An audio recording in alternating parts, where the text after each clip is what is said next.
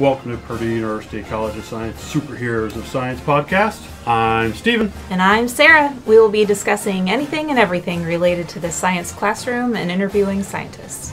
Because as we know, scientists are the superheroes behind the science. So join us as we learn about the scientists and explore current trends in K 12 science education. Welcome to Superheroes of Science. We're here today with Robin Tanamachi Professor of Atmospheric Sciences and Awesomeness in the Department of Earth, Atmospheric, and Planetary Sciences here at Purdue. Welcome, Robin. Thanks for having me. Nicely done.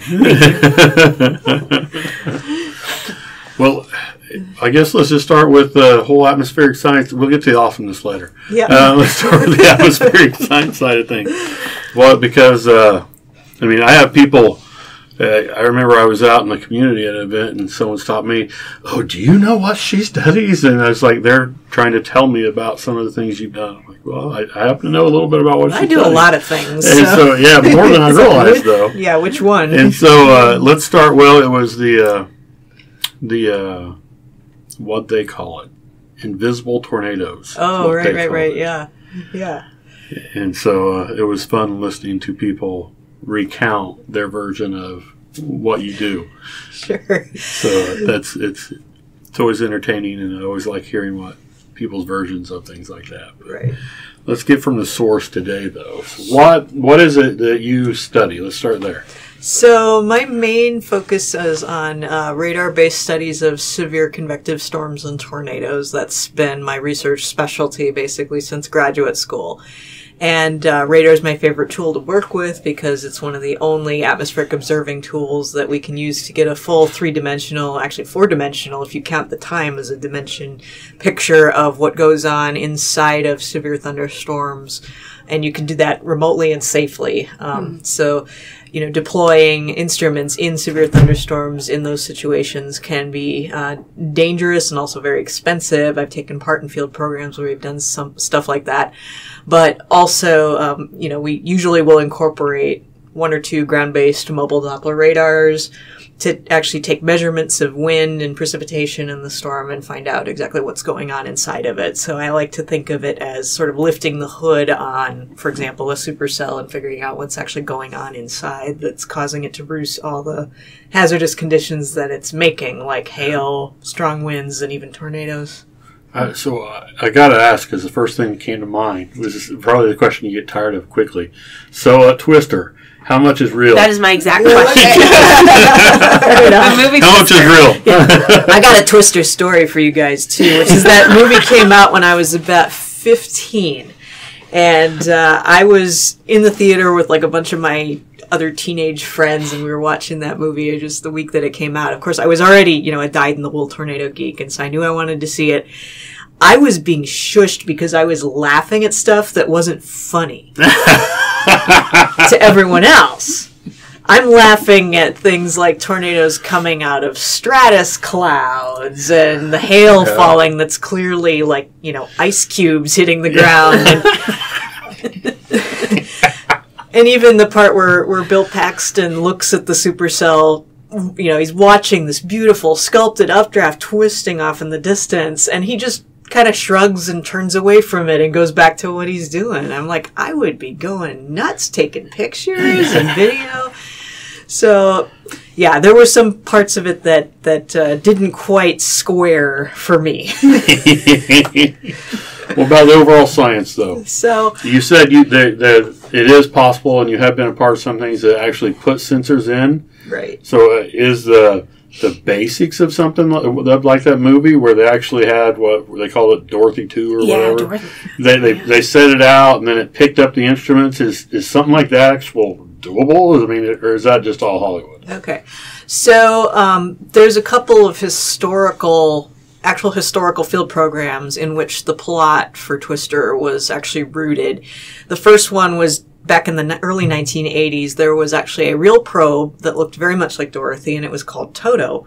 Um, Toto was an acronym for Totable Tornado Observatory, but unlike Dorothy, it didn't actually contain a bunch of airborne sensors, which you know I'll I'll go off on this in a minute, but um, they they that actually resembles sort of like the the unmanned aerial vehicle Yeah. approach that is actually being used now. So maybe it was kind of look forward looking and backward looking at the same time. Um, so Toto, instead of containing small airborne sensors, was actually like a weather station encased in a giant cement foot. It was like an oil drum just full of cement. Mm-hmm. And the idea was you would drop this thing in the path of a tornado, get the heck out of the way, let the tornado pass over it, and you'd measure wind speed and pressure inside the tornado, and then mm-hmm. go back and pick it up later. And, you know, this is 1980s, so a lot of this stuff is, you know, analog, all being recorded on strip charts and things like that.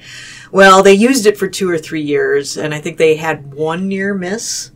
And um, this was very dramatically documented in a TV special for Nova that was that came out in 1985, which, by the way, was one of these sort of inspirational TV events that got me much more interested in severe weather.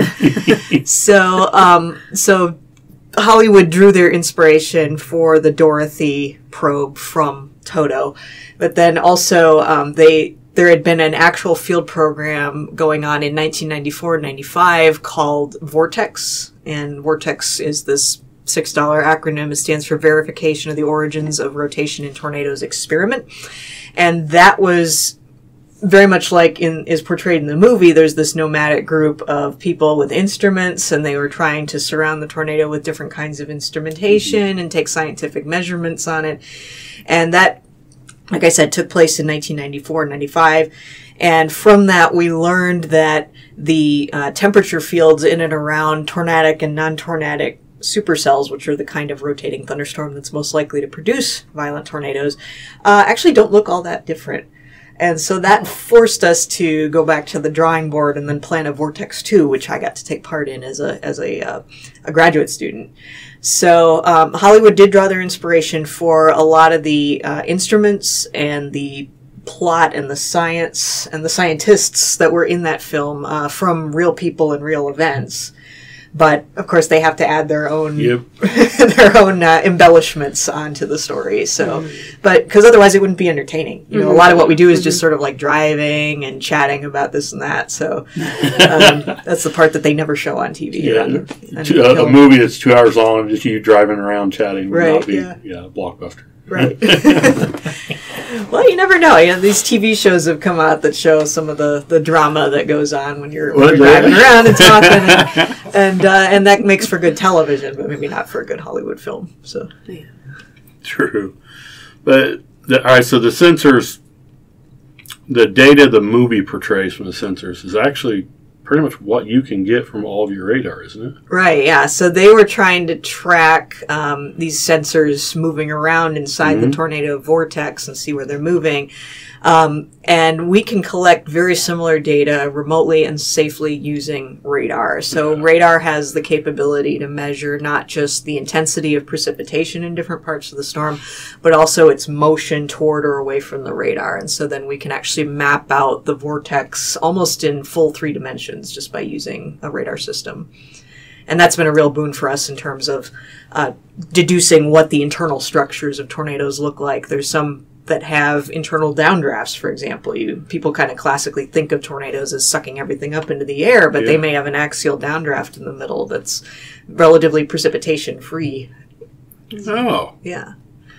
now I remember as a kid. I just cut you off. You're getting ready to Oh, that's all right. Yeah. Well, I was going to say you were part of a program that brought a radar to campus. Right, yeah.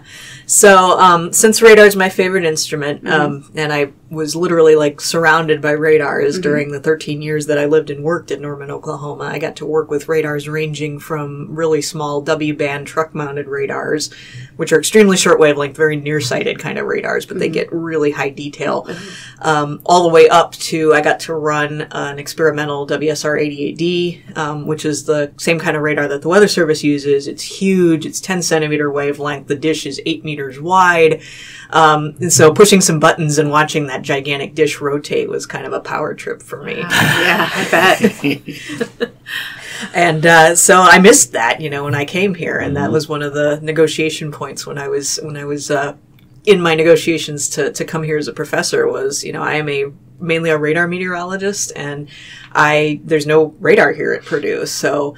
Uh, as part of my startup package, they gave me a pretty healthy chunk of change to go radar shopping. And so it took a year or two, but we were able to get a model that fit the budget and that actually fit the specs of a radome that I just happened to notice is on top Yep. of the building across the street. That was not built for me. It was built for another professor who subsequently left Purdue. And so it was just sitting there empty. So it was like it was waiting for me Oh, to come along and put be. something in there. Yeah. So yeah, we were able to put an X-band, which is a three centimeter radar, um, inside that dome in June of 2018. It's been operating ever since, just scanning the atmosphere over Purdue. And the really nice thing is that it fills a lower atmospheric observing gap between the WSR 88Ds that the Weather Service operates in Indianapolis, Fort Wayne, and Chicago. So, like, if you draw a triangle between those three places, like, we're basically at the centroid of that triangle, meaning the radar beams from those radars are crossing about a kilometer or more above our heads. So, we're missing um, all kinds of sensible weather that's going on near the surface here. And so, we're trying to fill that lower atmospheric observing gap. I it's a- something a lot of people don't realize when they hear about oh the Indianapolis radar. They assume it picks up everything up to a distance, but it's it is going higher and higher as it goes away, Right. Because it's, it's it's departing at an angle.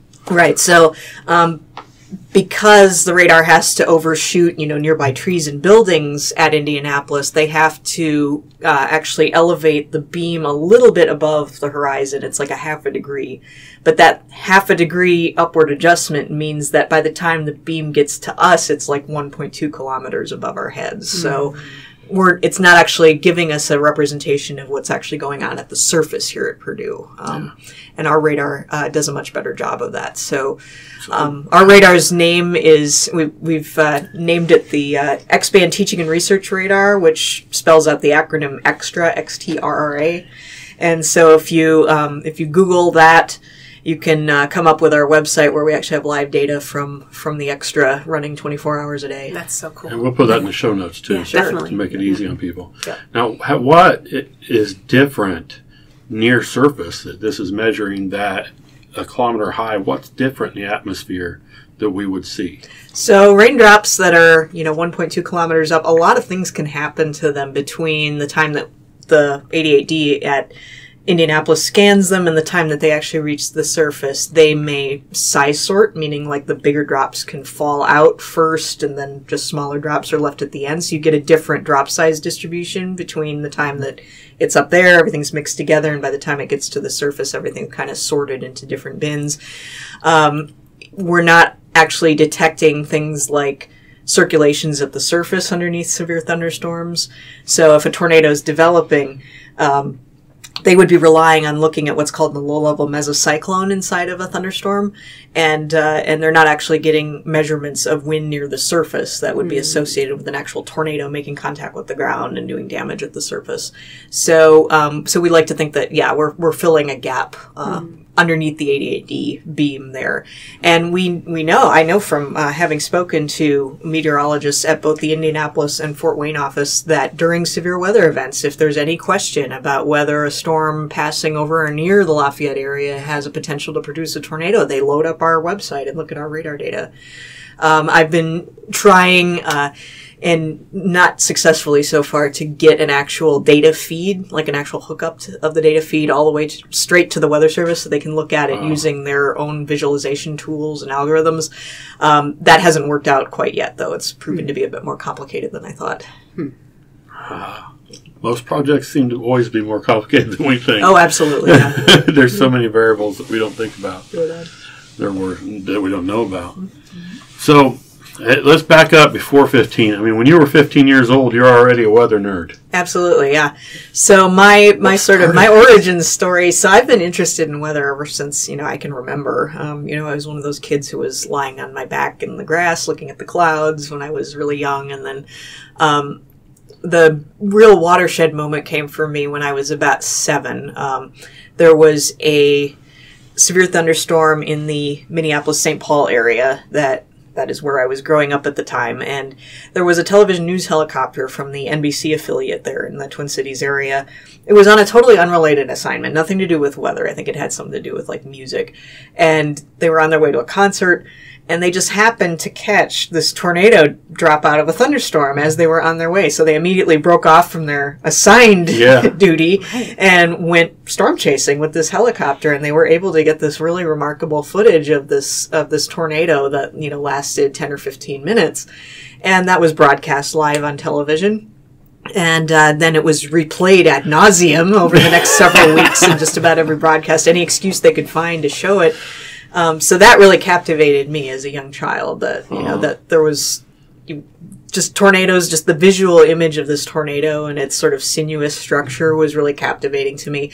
And then in one of the specials that they concocted based on that footage afterward, um, they actually got a satellite interview with somebody from the National Severe Storms Lab. It was uh, Dr. Don Burgess, who works there at the Severe Storms Lab and studies tornadoes and was one of the principal investigators behind the, the WSR-88D program. Um, and he was talking about how um, the Purdue University, so tying right back here, had the, these these physical laboratory models of tornado vortex structure that is had shown this sort of helical tornado structure, but they never actually seen it in nature, and Is that, that this snow? uh, this is yes, Church and Snow's work Okay. Back in the early '80s, and uh, they'd never actually seen that occur in nature until they saw this footage from this television news helicopter. But I remember sitting there as you know a seven-year-old and thinking, there are people who get paid to study tornadoes. Wow. that sounds like the coolest job ever. Right? So um, I went and did a little bit of research at the local library, what it takes to become a meteorologist, and um, basically tailored my educational path from that moment forward. It was just like I was dead set on becoming a meteorologist at some point, and I was really interested in severe weather. So um, I tailored all my my classes to you know I knew I needed the math, I needed the physics, and so I enrolled in an accelerated math program for the University of Minnesota, and was able to then get um, actually calculus and stuff all out of the way even before I graduated from high school. Oh, wow. The benefit to me of, of doing that was that when I got to the University of Wisconsin Madison, which was the nearest school to me that had a, a robust um, atmospheric science program, that I was actually able to start their core curriculum a year earlier than most of my classmates. I was a sophomore, and most of them were, were juniors. So, um, so I was able to finish all of my core requirements a year early, and then my senior year, I was just taking like tons of electives and having a great time. Smart. after that, I was uh, I was asked if I wanted to, to take part in some some research experiences as an undergraduate, and so I spent one summer actually taking part in a field campaign called IHOP, the International H2O Project. So that was studying water vapor um, over the southern Great Plains and how that contributes to things like convective initiation, meaning how thunderstorms are born. And uh, I actually, as part of that, got to go and babysit an instrument in, in uh, atmospheric emitted radiance interferometer, which is this skyward pointing infrared radiance measuring instrument that's used to measure water vapor profiles in the atmosphere. And I was in the the bustling metropolis of Booker, Texas. Um, sitting with this instrument out in the middle of a farm field basically for like two weeks and during that time so this is in the texas panhandle right and during that two weeks that i was out there you know there were a couple rounds of severe weather big photogenic supercells and i actually did a little bit of chasing. You know i got permission from my supervisor to, to leave the instrument for a little bit and go storm chasing and um, i thought you know i could get used to this. This is fun. So i uh, i went ahead and applied to the university of oklahoma because i had encountered out in the field there a couple of the graduate students from that program and subsequently got a phone call from Dr. Howie Bluestein, who's a well known uh, research scientist who specializes in radar based studies of convective storms and tornadoes. And uh, he had seen my application. He got a good letter of recommendation from some folks I worked with at Wisconsin, and, and uh, he offered me a position as a research assistant in his lab. And so I was there in his lab from uh, 2002 until 2011, getting a master's and a PhD, uh, both in research meteorology and both on you know tornado related projects. So that was uh, that was definitely a formative experience for me, and I was able to um, I was able to then you know pick up all the tools of the trade, participate in a lot of field work, and get connected with folks who I still you know I still work with to this day, and I still collaborate with to this day on on papers and field programs. So. Oh, that's That's awesome. really cool. So I, I just want to clear up really quick. You said you were able to begin your core work a year earlier than your Right. classmates, and is that because of the courses you took in high school? That is correct, yeah. So I was able to get all my calculus up through multivariable calculus and ordinary differential equations done uh, before I even started college. And so um, a lot of those credits ended up transferring to my undergraduate program in atmospheric science. And so they were able to admit me to their, their atmospheric science curriculum a year early.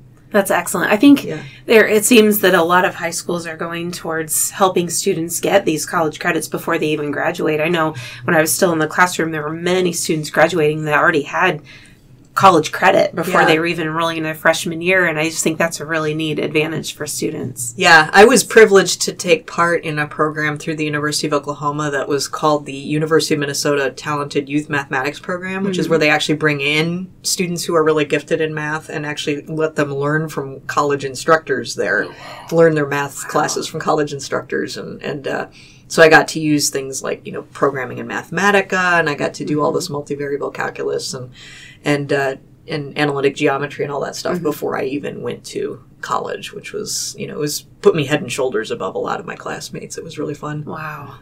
I bet it did. Yeah, that is cool. Yeah. That is such an awesome opportunity. Yeah. So, I mean, you're, I mean, uh, come on, you chase tornadoes for land's sakes. Uh, just, what do you say? For like five percent of the year, yeah. but still. You can still say I got a book out about that. So I know it's right here. I was gonna, was going to set that over here here in a few minutes and Right, ask you about yeah. the, the book here Okay. to explain that. But but before I do ask you about that book and the other ninety five percent of your time, Mm-hmm. um, coolest thing you've done. okay, coolest thing I've done um, from a science standpoint, or just in general. Go with Really? in general. In general. Oh goodness. Um, well, as a graduate student, I actually got tapped um, for a summer consulting job. So I actually took you know a summer off from my my graduate research assistantship at OU, and actually I got to go over to Japan and work for a company called Weather News. They had this idea that they would, um, they're like the Weather Channel of Japan, and they Yeah. wanted to bring over some American storm chasers to kind of cover the Japanese typhoon season. So I actually got to spend a summer as a typhoon chaser over there. So I lived there for two and a half months and got to, you know, learn a little bit of Japanese. I know enough to order food, and that's about it because I didn't speak the language. But most important. got to reconnect with some family members who live over there too, and so that was that was a really nice experience. And just yeah, having to live and operate in another culture was really eye opening for mm. me. Um, I think you've talked on this podcast before about just like doing study abroad or Yeah. having international experience. I absolutely wholeheartedly recommend to all students, even if they can't do something like that, just to do some kind of project that gets you out of your comfort zone. Yes. My teaching philosophy has always been you learn the most when you are outside your comfort zone, when you are not comfortable and you're having to grapple with situations that you've never dealt with before. Um, and living in a country that where English is not the primary language, uh, that was you know that and and the culture is very different and it's it's very deeply rooted and ingrained in everything that they do and say. Um, that was a really eye-opening experience for me, and I, I just it was a very formative uh, time for for me as a young adult. That is cool. Yeah. All right, so you already did the spoiler alert, and I was going to break Right this out. Yeah. And so, tell me about this book that I have here. Okay. So the book that you've just laid on the table here is a book that's targeted at grades five through seven, uh, entitled "The Tornado Scientist," and it's written by Mary Kay Carson, and the photographs are by her husband Tom Uhlman. So she reached out to me during my second year here at Purdue in 2016 um, saying she had this idea that she wanted to make a book about a tornado scientist. She had found my my blog, which I don't update very often anymore since I'm so busy as a professor. But she had she reached out to me because she thought I would be a good subject for this book. Um, she's produced other books about uh, people who study, you know, who work on the Pluto New Horizons mission, for example, or study rhinoceroses in Africa. Um, and so she wanted to branch out and, and do one about tornado science. And she had a contract with a publisher who was interested in working on it. And so they actually came out uh, and worked with us in the field during part of the Vortex Southeast project, where we actually went and tried to catch tornadoes in Alabama. weren't totally successful with that, but they were able to get some good photographs and and uh, interviews in with me. So so that's the mat- material upon which this book is based. And then at, in the meantime, I actually wrote a small amount of money in for her to um, to come with us in the field this year and document some of our activities with the students.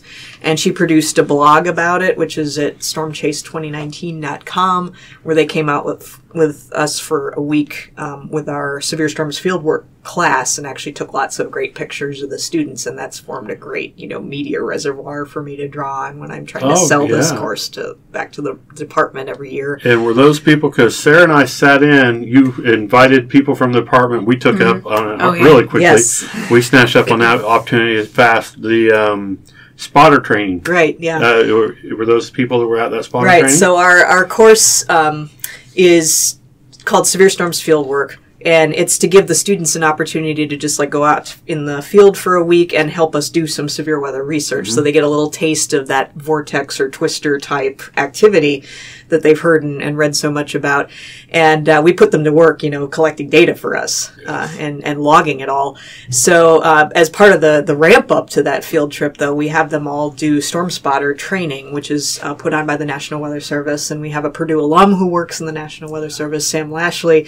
And he's thrilled to come out and give this training to the students every year and just you know reconnect with the department and find out what's going on.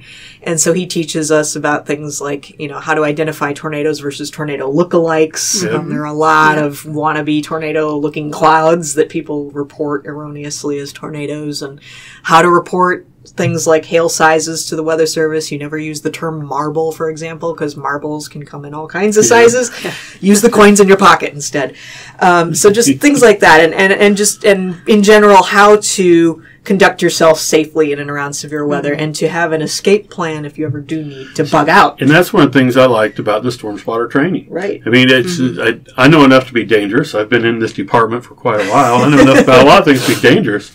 And uh, I mean, I took uh, weather classes from Dr. Smith when he was, I mean, a couple decades ago, and so more than a couple maybe. And um, and so I knew enough to be dangerous, but I really enjoyed when we went through the storm spotter thing, talking because I, I never really some variables you don't think about, like what is your escape plan, what is the pattern things are going, and making sure you don't think about your own safety. Sometimes you're like, oh, okay, I know what's going on here, but unless you plan ahead, you don't. Right. Yeah. So so going over things like what are the basics of supercell structure? What are the most dangerous parts of the storm? What are the best ways to approach a thunderstorm that you're trying to see? Um, and then how do you report the things that you do observe to the weather service in a way that's going to effectively inform their warning decision making process? So, you know, reporting hail sizes, for example, you know, using the coins in your pocket, that's something that's instantly relatable and, you know, corresponds to an actual physical measurement. Uh, reporting a tornado or a wall cloud, for example, is it rotating? Is it not rotating? How long have you been watching it? Where are you versus where is the thing that you're reporting? Um, a lot of times people will report, say, oh, the tornado is at my location or it'll be, be construed as being at their location when it's actually like five miles away for Yeah. example um, so how to how to effectively communicate that stuff to the weather service and kind of keep your head on straight and keep it on, a swivel too while Yep. you're while you're doing all that so And I've seen you guys on the app that we use to watch that. I've seen your guys' names pop up, so I know that we're using the same app. He suggested it, that's why we downloaded yep it. yep We're excited and inspired enough. I mean, we've went, we have the apps, we did Yep. the official training Yep. and reported that. We did the online one, and we both have our amateur radio license now. oh cool and so we, we have that, so we can run out on uh, hit the two tubing repeaters and be able to uh, Yeah.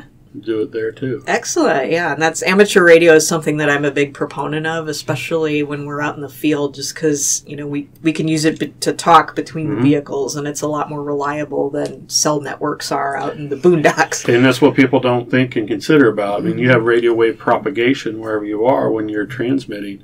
You don't have cell signal wherever you are. Right, yeah, and your your cell phone is basically just a very small, underpowered radio Yeah. that's digital. So, where digital stuff doesn't work, analog technology like amateur radio still works. So, Five percent of the time you're chasing tornadoes. Ninety-five percent of the time, Five percent of the time I'm in the field, I'm chasing tornadoes, and five percent of my time I'm in the field. So, yeah, so it becomes a vanishingly small uh, fraction of my time that's actually spent looking at tornadoes, and so the rest of the time is either spent prepping for those few moments when I'm actually in front of a tornado and trying to collect data. So getting myself prepared, getting my equipment prepared, getting my students prepared for that moment so that they can be ready to perform at, you know, it's like the Olympics, Yeah. right? You know, everything boils down to like 90 seconds or a few minutes sometimes.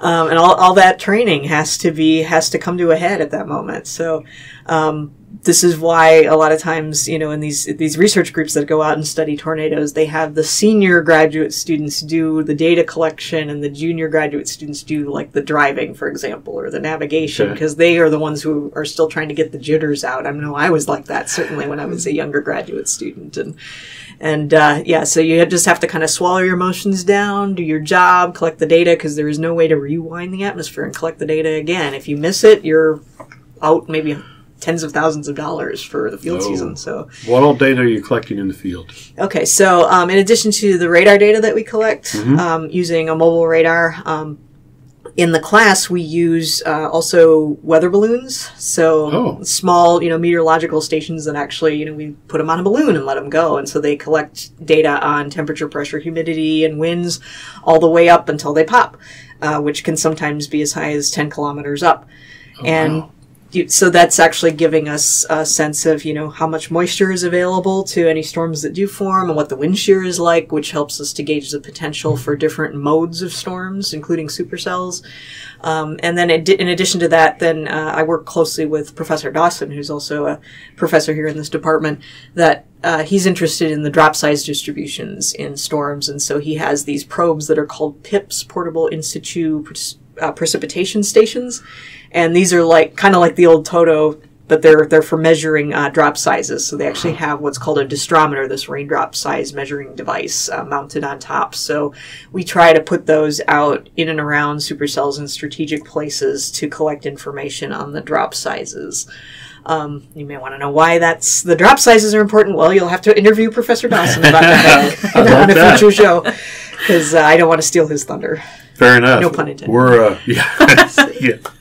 Wow, it went over my head for a second there Yeah. too. Like, wait a minute. so thank you. We appreciate your time. No problem. Thank Uh, you for this having is me. lot fun.